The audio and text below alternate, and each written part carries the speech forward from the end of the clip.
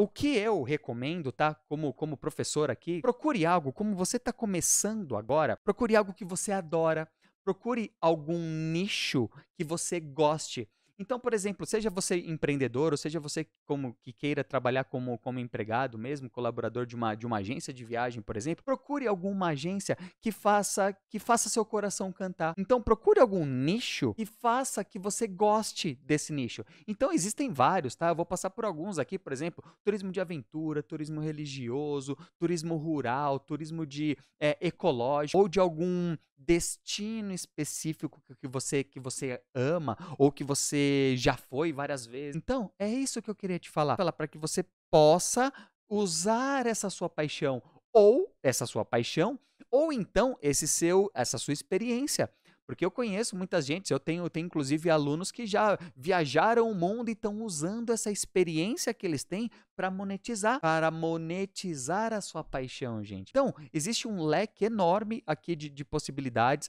mas eu, como, como vocês estão aqui é, num primeiro momento querendo começar a trabalhar com isso, então busque a sua paixão.